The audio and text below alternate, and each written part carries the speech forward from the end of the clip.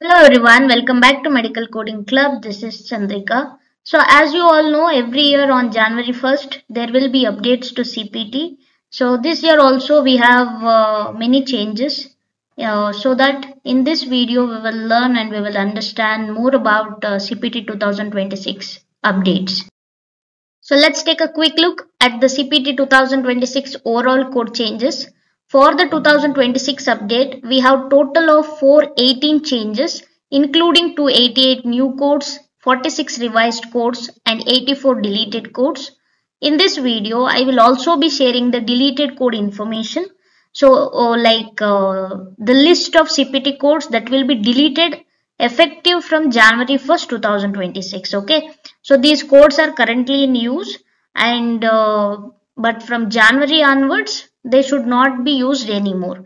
So i'm preparing this or i'm keeping these slides here because you know if you are if you want to train your team regarding uh, uh, deleted codes or if you are currently using these codes for example revascularization. So there are many codes almost 20 codes uh, you know they are deleted and uh, added newly. Okay so you should be aware what are those codes uh, being deleted. Uh, so for that reason i am only preparing this a video uh, for the list of deleted codes. Okay? So as i am saying those are in currently use and it should not be used from january 1st 2026 okay? So let's begin. So i am not going to explain anything here. You have to pause the screen and you can take a look at cpt code and the description. And uh, you know you can cover all the deleted list of cpt codes. So yes pause the screen and take some time and if you want to take a screenshot you can take it. Or uh, you know after from december maybe i will i will upload the pdf itself. At that time also you can refer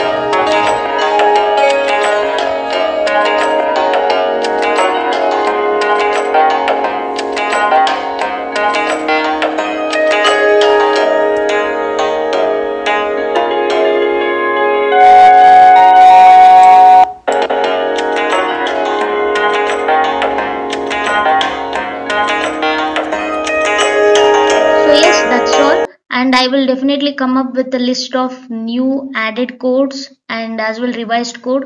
To keep everything in a single PPT it will take so much time so I decided to come up with uh, a step by step.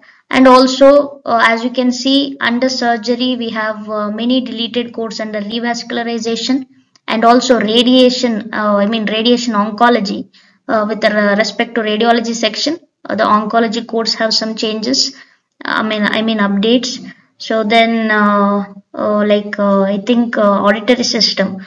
Under auditory system we have some six codes being deleted okay? So you can carefully look into each of those code. If you are currently using those codes or if you're working for, for those particular project codes then definitely uh, by Jan 1st you should uh, be having that knowledge that those codes will no longer valid uh, from January onwards okay so thank you all. Thank you for watching. Please do subscribe to my channel and share with your medical coding friends as well. And if you are looking for CPC training, you can text me on WhatsApp.